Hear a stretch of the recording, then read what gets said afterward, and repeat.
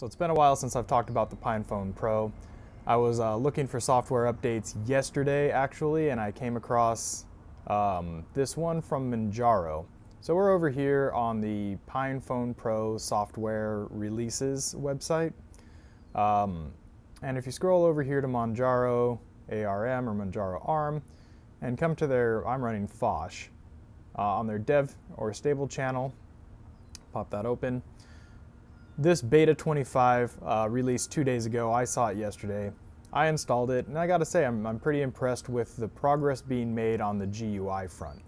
Um, we're gonna come back to this, we're gonna talk about it a little bit later, but for now, let's jump into the phone and see where we are software-wise, compatibility-wise, and see what's changed over the past six or so months since the phone's been released. All right, so we have the phone booted up here. Let's go ahead and unlock it. So this is Manjaro Phosh.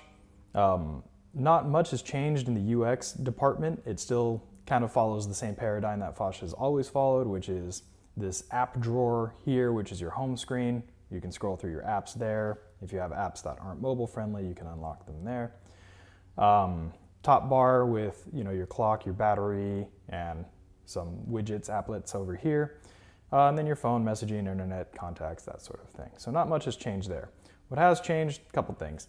Number one, I feel like they've optimized the software a little bit. The animations are a lot more fluid than the last time I used it, which was, um, I believe, Arch Linux around May of 2022.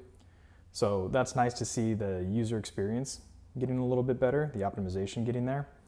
Um, what also has changed is instead of tapping the top bar to bring it down um, menu stuff, is you can now slide it down. You'll get your notifications, um, settings for cellular, Wi-Fi, Bluetooth, battery, rotation, all of that sort of stuff. You have your lock button over here and power button over there. Uh, this is a nice quality of life change. It seems like it would be pretty small, but it's much more intuitive, especially if you're coming from Android. Um, when I was daily driving Phosh with the PinePhone Pro, I would continuously try to swipe down to get to these sorts of settings but on every other version of it, you would have to just tap and it would bring it down. So that's a welcome change. Um, it's a small thing, but again, it, it does make a difference in the usability of it. Um, the operating system as a whole, I think, is really, really close to daily driving. I've always been um, a real big fan of Phosh and, and um, what's the other one? KDE as well. And on both of them, I think they're really close to having a, a post beta release there are a couple things holding it back. Number one is power management is still broken. Now, it does have suspend. Ever since we um, got, what is it, Tow-Boot installed, Suspend has been working on Mobian, Arch, and Manjaro. And so when the phone is like shut down, shut down, the battery life is fine. It bleeds about probably 2 to 3% every hour, which is fine to get you through like a day of work, get back home, get it into a charger. The problem is there hasn't been much in the way of uh, power management while the phone is being used.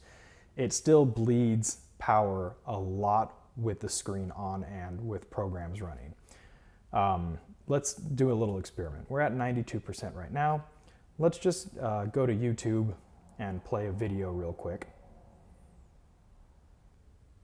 All right, we have cat realizes owner is pregnant.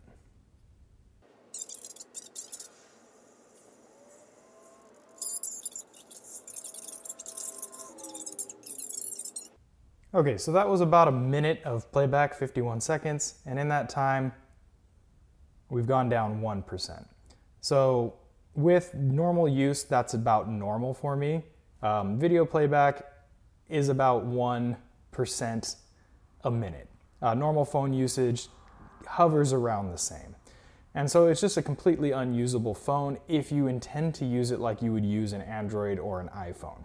If you're one to just like browse the internet, social media, um, just be on your phone for longer than phone calls or text messaging, you're gonna go through a battery in probably about two hours realistically, which as a phone, it, it's, it's pretty horrendous battery life. Um, The second biggest issue that keeps me from daily driving this and would probably keep most normal users from daily driving is we don't have the camera working yet. And so if I go to megapixels and try to boot it up, it just comes to this blank screen and it dies there and then I have to come up here and just get out of it. Uh, the reason for that is there's no driver for the actual hardware yet into the kernel. Um, we'll talk a little bit more about that in a moment. But aside from those two big hangups, everything else is working pretty well. Um, phone calls work for the most part. There is a tendency for the modem to get, I don't know what you would call it, clogged um, and get some like low quality calls or um, missed calls, dropped calls. That happens from time to time. Another thing I've run into is if your phone is suspended, there's a chance that you will just miss calls like your phone won't wake when you're getting a phone call, which is kind of problematic if you intend to use this as a phone. Um, but for the most part, the calling app works. Uh, messaging, this one here, works pretty well. It sends and receives SMSs, no problem, at least for Mint Mobile, which is what I'm using. Um, multimedia messages are still hit or miss. I haven't been get, able to get them working on Phosh, but I was able to get them working on KDE. So your mileage may vary with multimedia messages. One thing I haven't been able to get working is group texts. And I know group texts are important for a lot of people, they're important for me. I haven't been able to get group texts working, but that might be user error. I'm not sure if other people have been able to get group texts working. Uh, Firefox is a capable browser, no issue there, and all the rest of the apps are fine. Um, I would like to see a little bit more in the way of mobile app development, um, but we'll talk about that a little bit later. So aside from those couple hangups, which is power management and um, hardware support, especially in the way of the camera, I think this phone is really, really close to daily driving. If you don't need a camera and if you don't have a lot of use for your phone as little more than text messaging and making phone calls, you'll be able to daily drive this, no problem. Got the sun up ahead a little bit. Um, I'm outside doing the recording. Uh, I'm barbecuing some pulled pork, so I just wanted to bask in the smell a little bit. It's, it's delicious. Anyway, so that's the phone. Let's go ahead and get into my thoughts about where PinePhone is, where it's going, and what some of the hangups sort of are. So number one, I think the biggest hangup for PinePhone Pro and Pine 64 is their insistence on being a hardware manufacturer without contributing a lot to the software side of things. On their website, they're pretty transparent about how they give you hardware and it's up to community support to get the software and the kernel running. Um, and so without a lot of incentive, especially financial incentive, you're kind of leaving a lot of the development up to hobbyists, enthusiasts, and people who might be working for larger Linux institutions like Red Hat or uh, Canonical to kind of do a lot of the work on their end. This is in a difference or a contrast to what Purism was doing with the Librem 5. So Librem 5 was another open source or semi-open source um, hardware Linux phone. But what they were doing was developing, I believe it's called Pure OS, yeah, Pure OS, um, uh, for themselves in-house. And that was being used on the Librem 5. I've never used Librem 5, so I don't know how smooth it is, but I do know that Phosh, or PureOS, was essentially forked by these other developers for PinePhone Pro, so I'm guessing it's probably pretty similar. But the nice advantage that Purism had is they were actually contributing upstream to the development of these operating systems. Um, without financial incentive, again, I'm not so sure how quickly these operating systems are going to be developed certainly not at the breakneck pace that iOS or Android are developed. Um, that being said, it is starting to feel like mobile Linux is dead in the water, um, at least for the time being. You'll notice if you go to Purism's website that they're not even really shipping the Librem 5 anymore. I'm not sure if it, they say it's shipping part procurement lead times. I kind of have the suspicion that they've depleted their inventory of them and probably just aren't going to restock them. Maybe they'll release a Librem 6. Um, I'm not entirely sure what's going on on their end, but I do know that you can't get the Chinese manufactured Librem 5 anymore, but they still do have some US manufactured Librem 5s on hand that you can buy. But I think Purism is kind of stepping back or reapproaching how they're going to work on mobile Linux. Um, we already talked about PinePhone Pro and how they're approaching mobile Linux. Um, and the issue with that is everything has kind of come down onto this gentleman here. Um, I believe his name is Megi. And he's pretty much the only person I could find still doing stuff for the development, for backend development of mobile Linux. Uh, every update I see on Reddit or on YouTube is kind of on the back of this, I, I believe he's a man, on the back of Megi here. And so when you have what amounts to essentially a hobbyist doing almost all of your development, then things are necessarily going to go at kind of a snail's pace. And the problem, from my perspective, is if you're trying to get an operating system that's going to reach parity with Android or iOS, you're not going to do that by going slower in development than they are.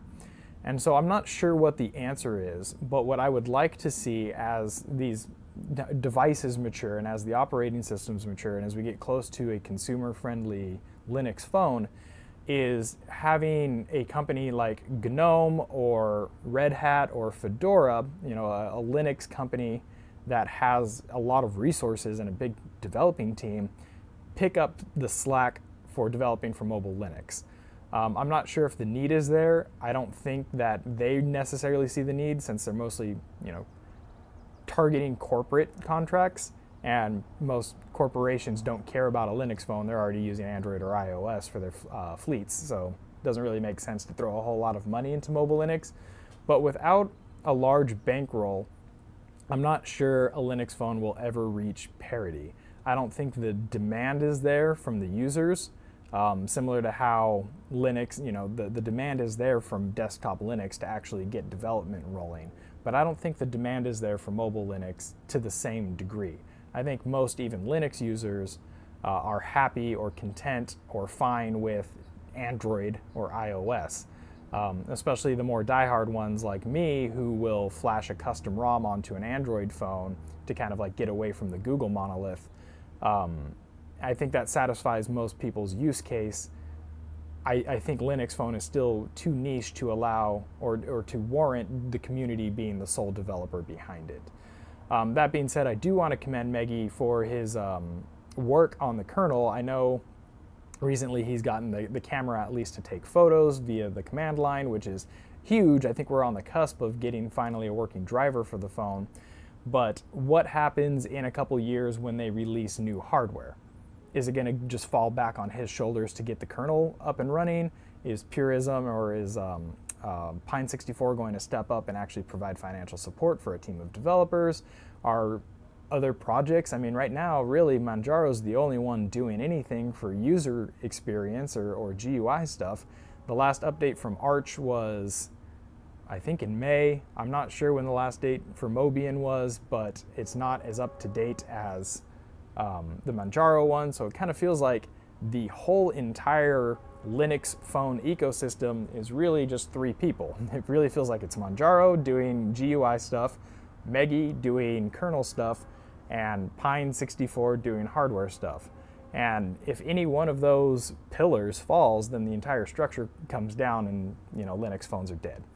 So I, I don't want to be so pessimistic and say that there's no future for Linux phones, but I am getting a little bit concerned with the slow development of it, the fact that really crucial elements of the phone haven't been addressed in the form of power management, battery drain, and hardware kernels, um, and that there doesn't seem to be a lot of push from the people kind of developing the hardware to provide back end support for software developers. Um, so that's where I am right now.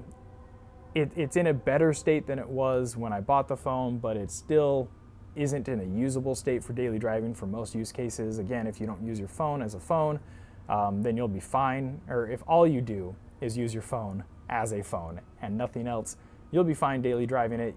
Um, but if you are coming from Android or iOS and expecting a Linux phone that is at parity with those devices, you're going to be very disappointed. It is not there yet. Um, and I'm not sure if the PinePhone Pro will ever get there. Maybe a second gen Pro model will, but you know, that remains to be seen. All right, thanks guys for tuning in. I'll see you in the next video.